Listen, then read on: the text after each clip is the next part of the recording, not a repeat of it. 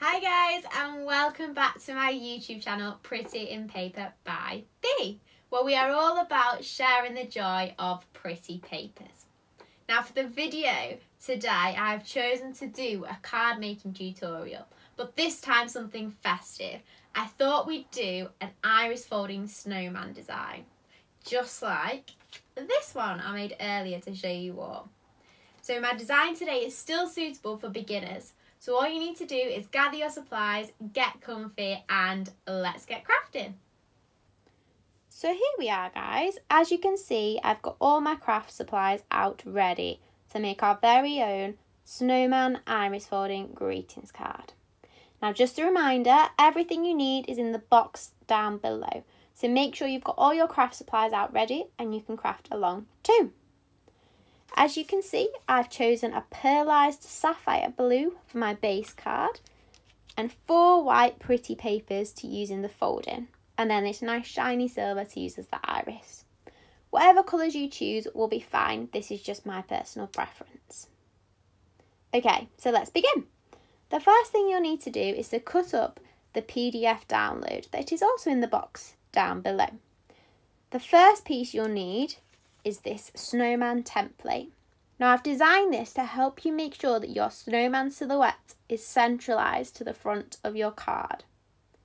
So what you'll need to do is place it over to the left hand side of your card, lining up the edges of the template to the card.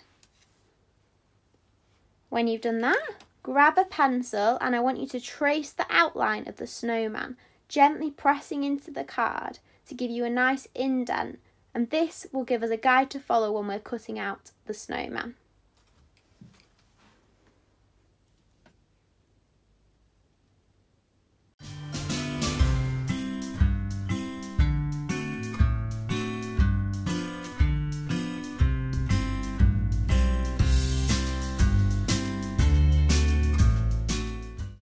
And there we go. You won't need your template anymore so you can put this to one side. Now, as you can see, there should be a slight indentation mark into the card and this will be what you use to give you a guide when cutting out the snowman. Now what you'll need next is a cutting mat and a craft knife.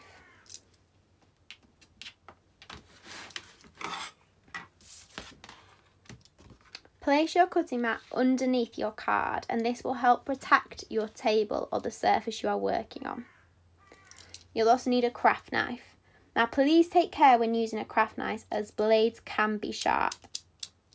It's important to make sure you have a sharp blade and this will make the clean cut into your card. But also remember to keep your hand behind the cut as to avoid any accidental injuries. You may also find it easier to turn the card as you are cutting to help you get the right shapes and angles into your snowman.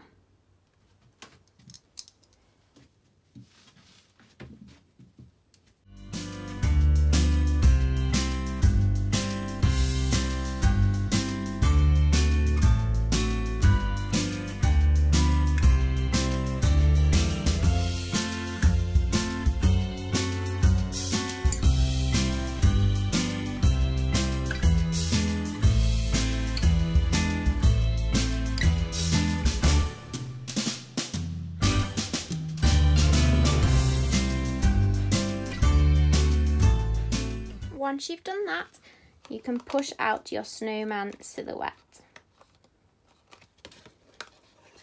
There we go. You may have any little extra bits that you might want to tidy up around the edges as it can be quite difficult to get a perfect round cut first time. So there we are. After that, you can move your cutting mat to the side and you'll put your craft knife away as you won't need this anymore. Now for the next bit, you will need your snowman pattern. Now you want to lightly blue tack this to the table to prevent it moving during your folding.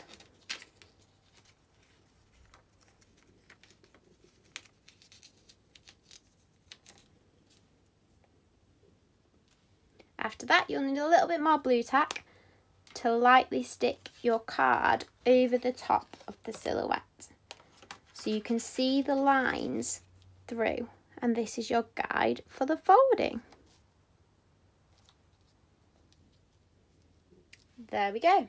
So we are almost ready to begin with our iris folding. The only thing we need to do is to cut our paper strips. Now to do this, you'll need your four chosen pretty papers. As you can see here, I've chosen two textured white papers, a pearlized white paper, and then this star, shiny star paper here. Now you can cut your paper strips with a pair of scissors, or if you do have one, you can use a mini paper cutter like this one here. I prefer to use these as it helps get a nice, straight, clean cut. However, scissors also work fine.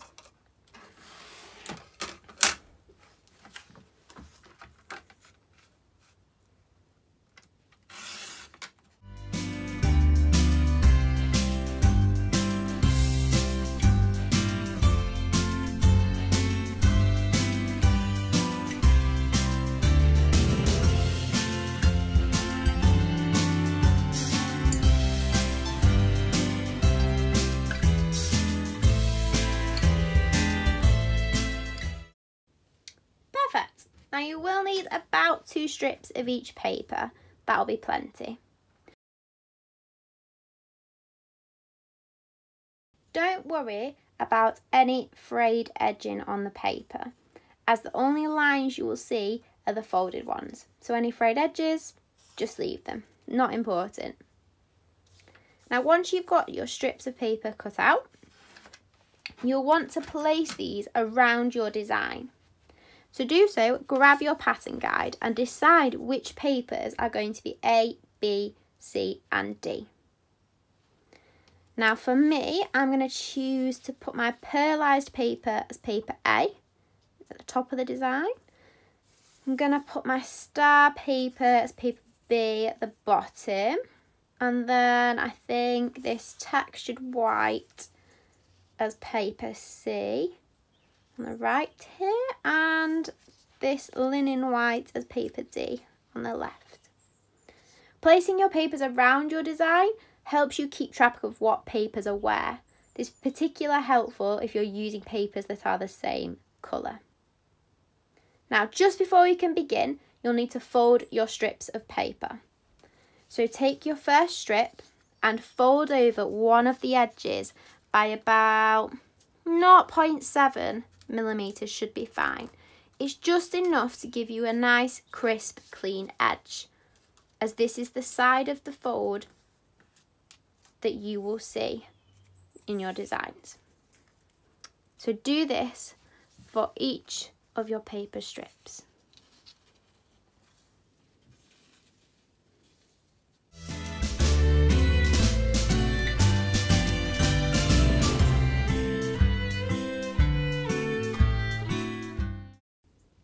Once you've done that, you can begin placing your strips. Now to do this, take your strip paper A and following your pattern guide, place your strips along the numbers. So to start with, I'm going to cut a strip big enough to cover fold number one. Place over the top with the folded edge along the line on the pattern and use sticky tape to stick down each end of your paper strip.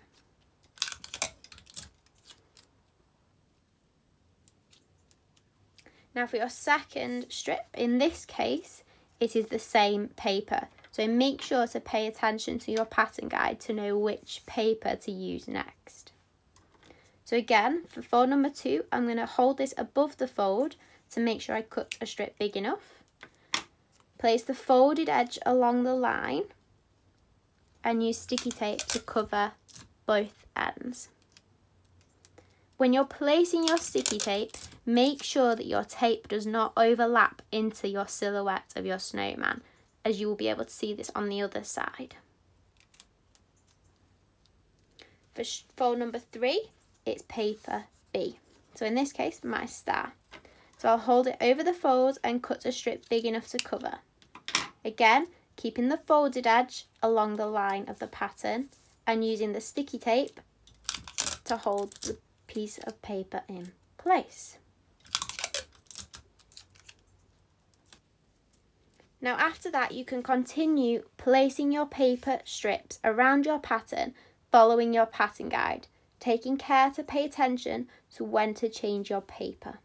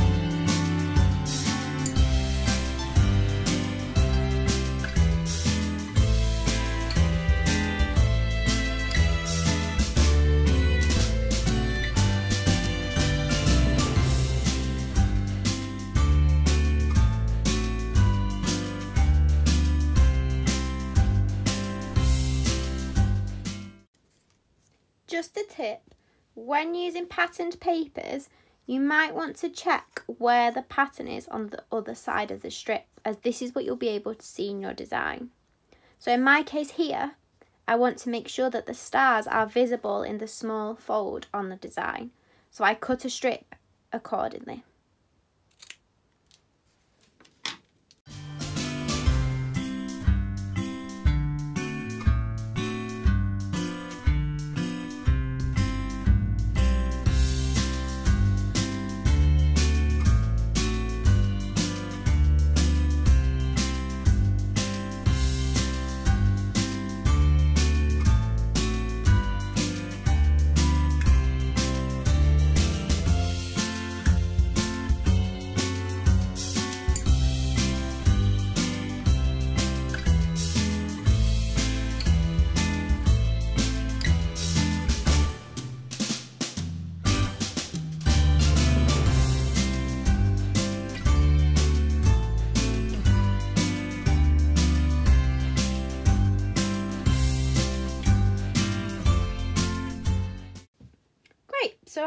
We're just about done with all our folding there. Now, the last bit that you need to do is to cut a hole of your shiny card, piece of your shiny card large enough to cover the hole in the centre of your design. For in my case, I've chosen this nice glittery silver, which I thought would tie in nicely with the silver in my star paper. So there we go. I've cut a little square big enough to cover the hole in the middle. Just use a bit of sticky tape to stick it down.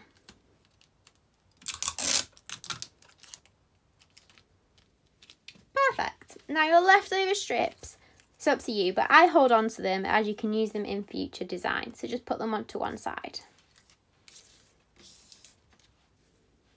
Great, so you can now turn over the exciting bit to have a look at your design. So there we are, an iris folding snowman. Now to finish your card, you have a couple of stages left to do.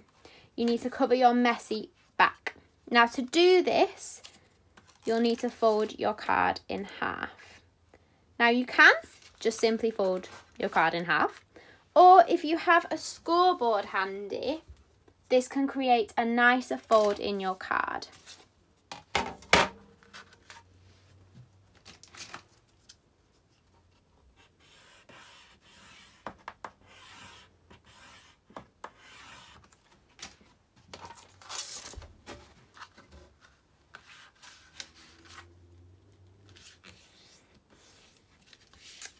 And there you go.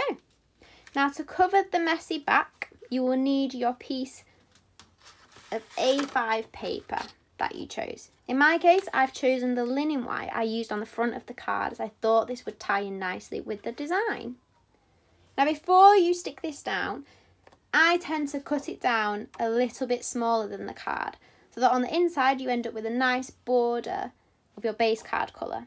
Now again to do this you can use your scissors or you can use the mini paper cutter if you have one.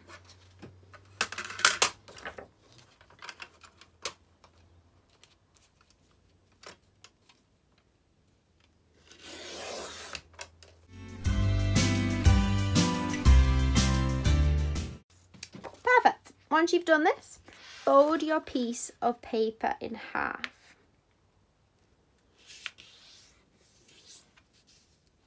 Now, if you have double-sided tape handy, this is the best for sticking your insert down. However, if you don't, a glue stick can also work okay.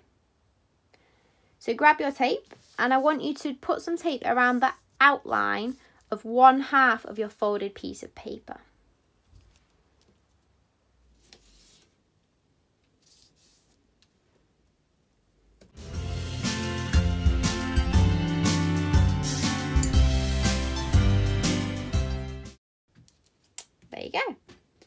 Now before you stick your insert down over the back of your design, you'll need to peel the tape. Now a little trick to make sure your iris, your iris, your insert is lined up correctly is peel the strip along the folded edge and on the short edges peel them halfway and fold the back outwards.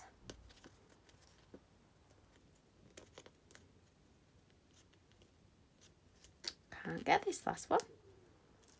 There we go.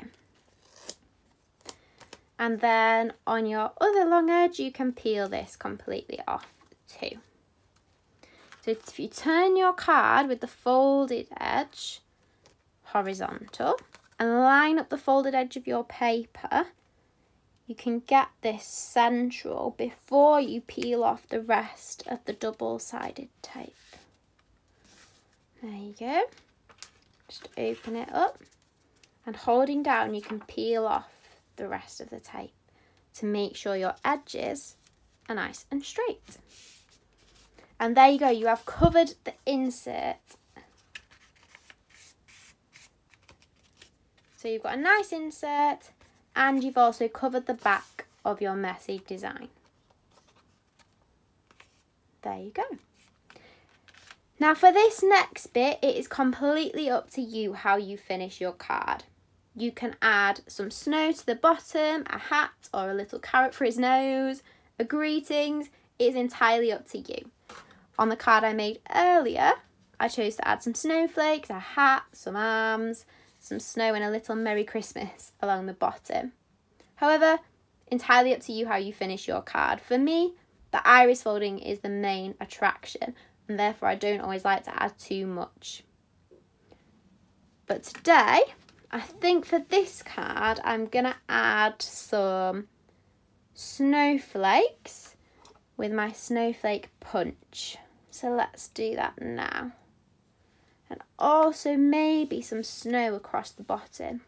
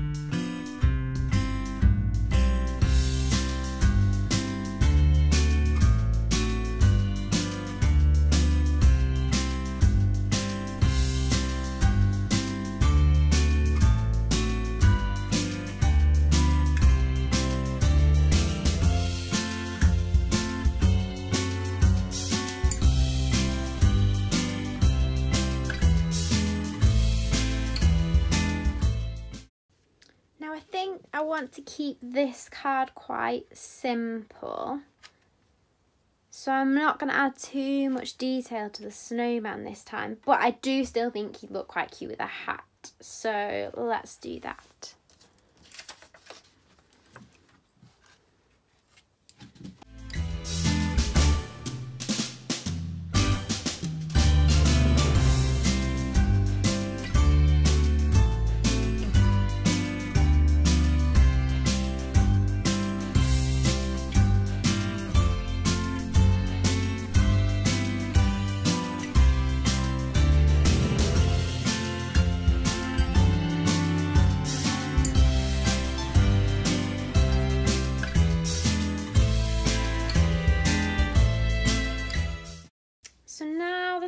Snowman's got a bit of character. I think to finish it off, I'm just going to add a little greetings at the bottom. So for greetings, I actually quite like using peel-offs. They've got a bit of a shimmer to them. But I think for this card, I'll use these Merry Christmas greetings. Now, I think these are supposed to be borders, but actually, just as individual greetings. They look quite nice. I use these on some of my bauble cards, if you've seen them before.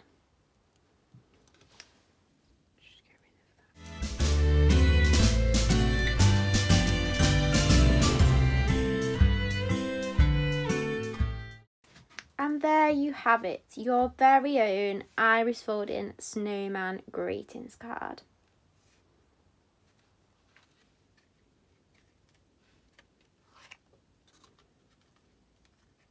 Thank you for watching my iris folding card making tutorial where we made our very own snowman iris folding greetings cards. Perfect for this festive occasion. Don't forget to leave a comment below and give me a big thumbs up if you liked it. Also, subscribe to me for more videos on card making tutorials, crafting tips and pretty papers.